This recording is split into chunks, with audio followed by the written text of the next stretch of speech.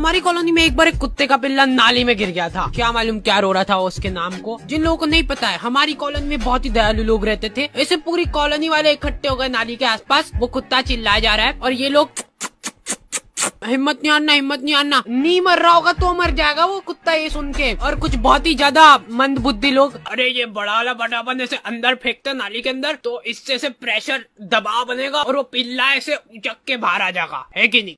घर जाओ आप हो गया आपका। और लड़कियाँ ओ वाह कितना क्यूट है। मर जाएगा वो। फिर मैंने सोचा कि ये दुनिया बहुत ही मतलब ही है इसलिए मेरे को भी अब मतलब ही बनना पड़ेगा। क्योंकि वहाँ पे लड़कियाँ भी थी तो मेरे को ऐसा लगा कि अरे मैं ऐसे किसी की जान बचा के एकदम हीरो हीरो की क्या बात है ऐ- ऐसा कुछ हो जाएगा। अरे आजा आजा आजा आजा और मैं पूरा ऐसे डायलॉग वगैरह लिख के ले गया था कि पिल्ले को निकाल के ये बोलूँगा। अगर मैं नाली में हाथ डालने से किसी बेजुबान की जान बच रही है तो मैं डालने के लिए तैयार हूँ। हाथ नाली में।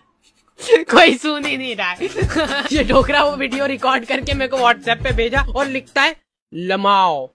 हिंदी में।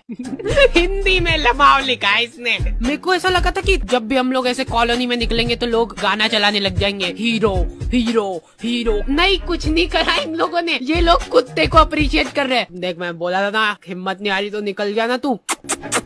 देखो यार कॉलोनी वालों ने मेरे को शाबाशी वगैरह नहीं दी, वो सब ठीक है। लेकिन इनको क्या मालूम क्यों ऐसा लगने लग गया कि मेरे को नाली